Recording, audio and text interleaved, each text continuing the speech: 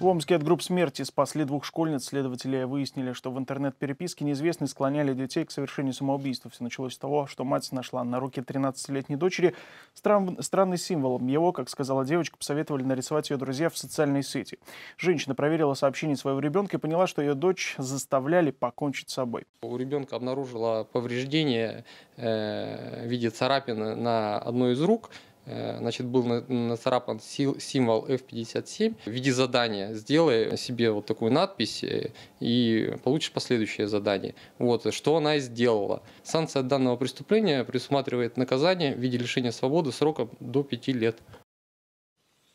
Напомню, ранее начальник городского УМВД Сергей Меркулов публично заявил, что в Омске нет групп смерти.